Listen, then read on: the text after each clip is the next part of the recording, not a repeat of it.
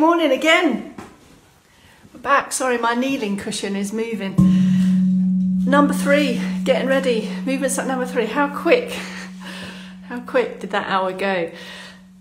So I'm here again for your third movement snack. Uh, after this one, I will pass the movement baton on to Kelsey for the 11 o'clock. So you have got a different face for the next one, I promise. For now, I'm here to get you in the zone for the next 10 minute bout. 10 minutes of movement boosting, circulation boosting, a little bit more thought around uh, legs, upper body. Uh, you can do these in sit, you can do these in stand. That if you're working on proving that transition from sit to stand, all this stuff can contribute and support to help that.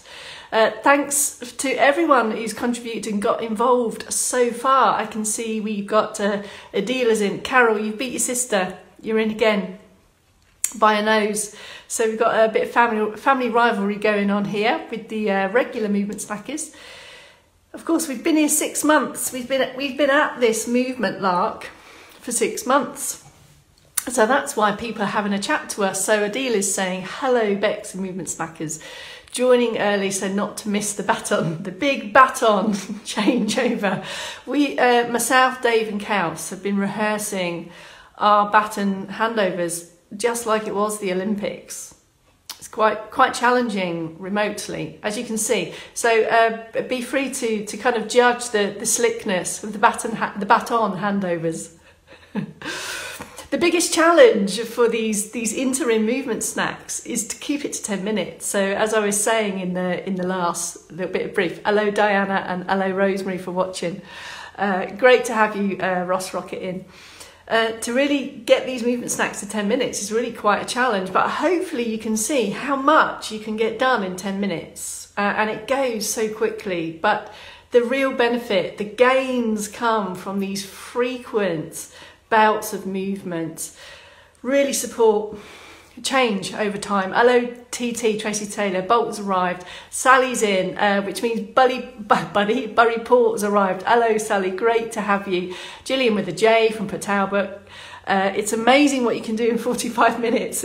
yeah, so yeah, it's not just these movement uh, bouts in the snacks here. What's happening in between those minutes? Uh, ready to move, buddy. Thank you, TT. Sandra's back. Kathy Speed is back. Hello, everyone. We're getting going. We're getting going. We're getting ready.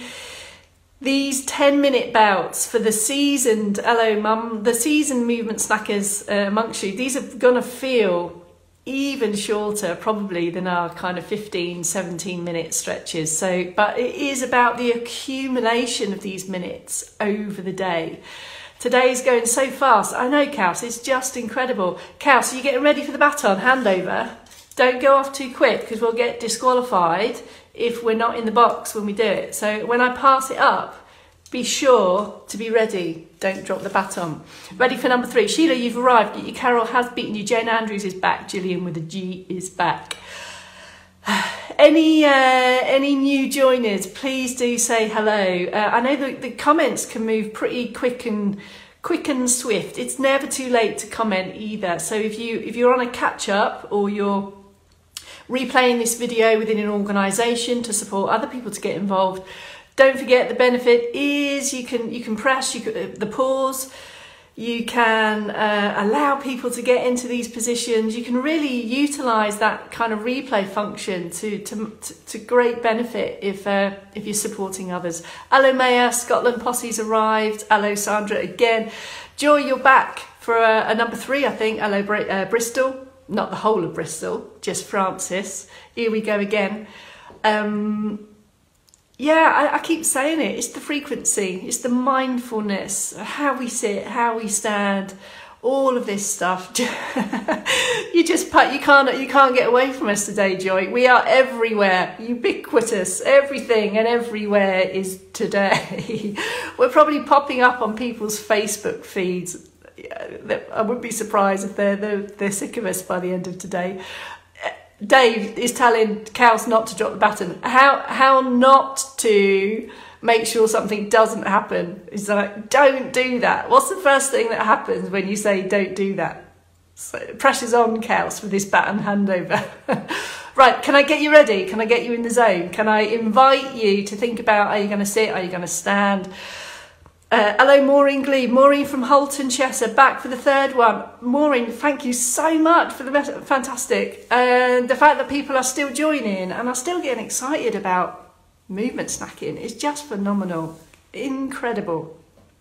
Uh, Cheshire, um, that means you're near Margaret Woods. I don't know if you know each other, perhaps there's a connection. Uh, been up and down the stairs a few times since the last snack. That's what it's all about, Francis. Uh, extra extra crow, crowbarring points there. She's done a few flight of stairs in between. Hello, Pat. Come on, it's a three, two, one. It's going to go quick. It's going to go really quick.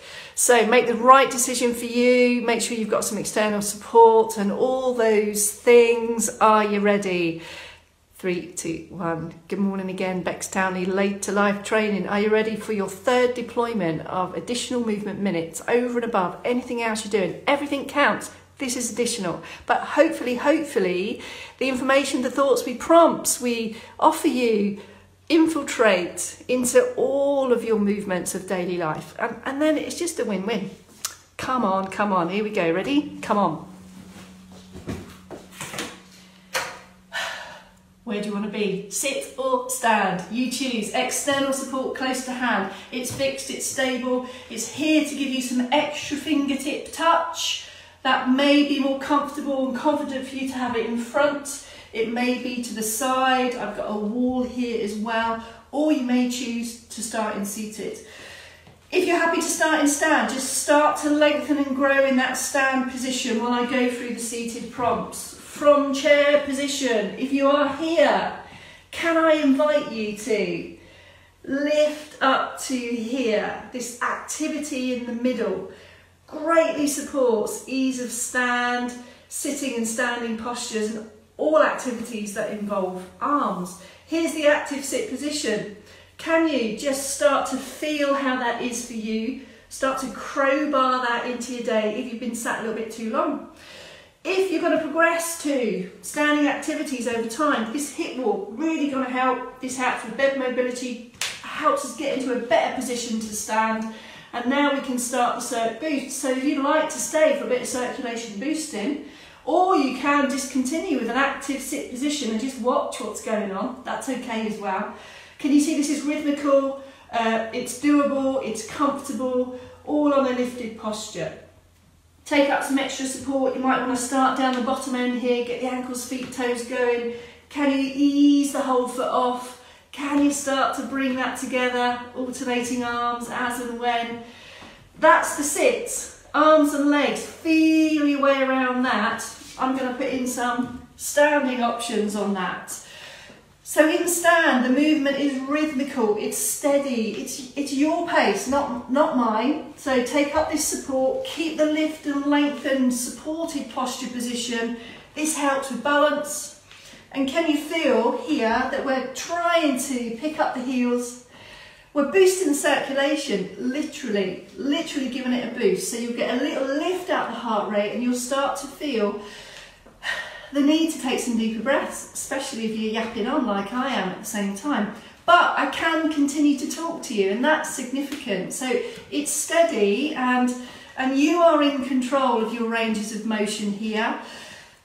And when arms and legs start to move together or when we move rhythmically the arms and alternate that with the legs, we have the effect of increasing the blood flow, boosting the circulation. There's so many benefits to all of our body parts and physiology here. And we try to bring these circulation boosts to break up any long periods of sitting. So a few more seconds of that in stand. You may feel confident uh, to not hold on. Uh, in sit here, do be sure that it's coming from the ankles, feet and toes, or you may want to just isolate the feet and it's okay to have a pit stop, to grow and go again. All of that is okay. All movement benefits in the back. Active sit and stand positions done. Circulation boosting done. We're moving on to our third boost, our leg boost, strength boost. So, we've done this uh, two times already today. I'm going to go through the critical points. From the back of your chair, sit tall, taller as you can and hip walk forward. Hip walking forward will make it easier to stand. If you have no intention of stand or standing isn't on your radar, I'm going to give you something different to have a go at. So if you're not coming up to stand and you don't want to work on legs, have a go at our shirt off movement. And this can be done with either one elbow up and down like so, or bringing them together. And can you see this action here are all the movements we need for things like washing, dressing, and just generally extending and lifting and open the posture. If you'd like to go back down on legs, here we go, heels back and down, heels are in the floor. Let's try a, a little jockey lift. Hands can be on thighs or on the chair. Can you get your buttocks just off the chair? Recover after each one. Can you feel your buttocks working as well? These buttocks and this push through the floor and this supported strong trunk position is how we come to stand two or three of those across the day, every hour, you feel, you feel your muscles start to work. If you're confident to go for the full stand, pushing up to stand, get your balance at the top, a little bit of foot pedal always goes a long way to support with balance, helps with any blood pressure changes before we then continue on to our activity.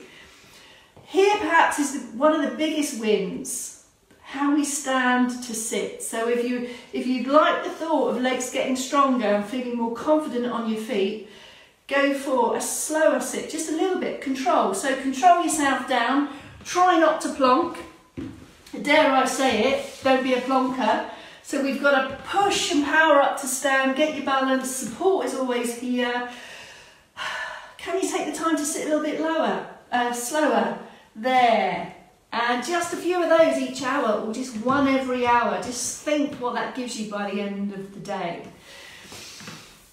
You're in stand, if you're already in stand, an alternative is just to rehearse your knee bends. So we take the movement a little bit from the top end, weight is even, using external support, and again, we're starting to strengthen the legs. So you can improve that movement from either end.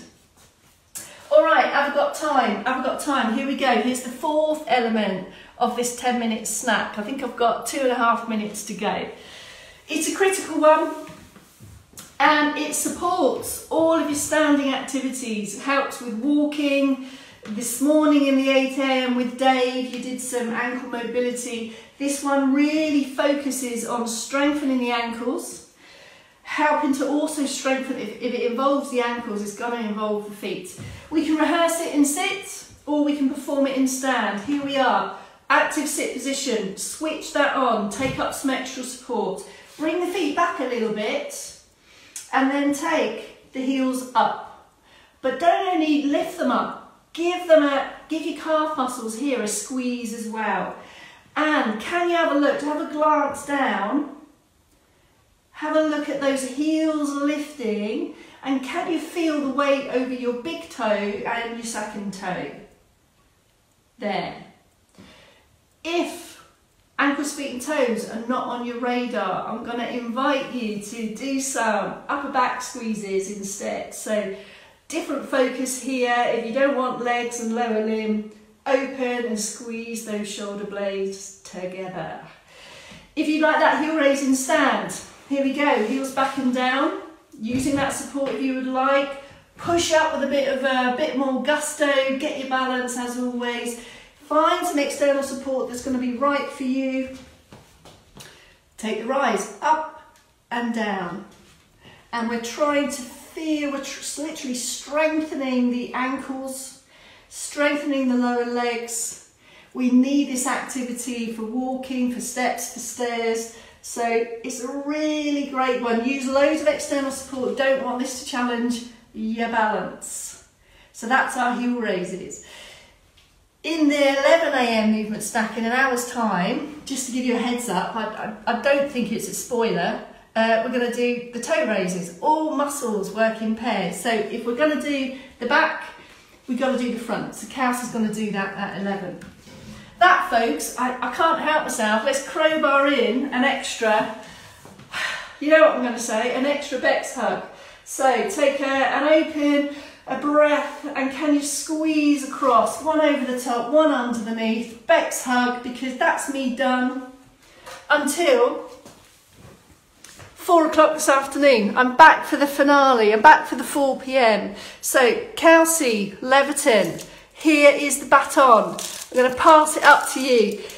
Don't go off too quick, for goodness sake, otherwise we'll be disqualified. See you back at 11, folks. Well done. See you then. See you at 4.